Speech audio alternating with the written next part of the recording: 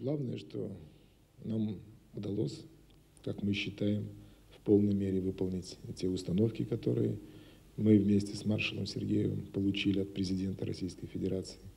Нам удалось добиться достойного э, участия нашей страны э, в миротворческой операции, которая на основании резолюции Совета Безопасности ООН развертывается сейчас в Косово.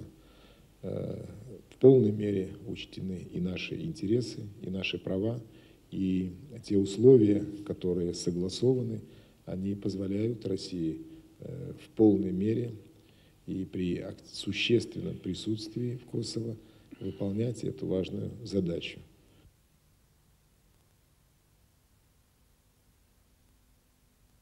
Что касается наших отношений с НАТО, то эти отношения, как вы знаете, заморожены.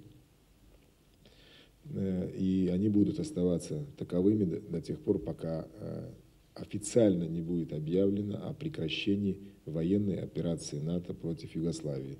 Сейчас э, эта операция приостановлена. После того, как эта операция будет окончательно прекращена, после этого возможны контакты, которые должны будут внести ясность в наши отношения,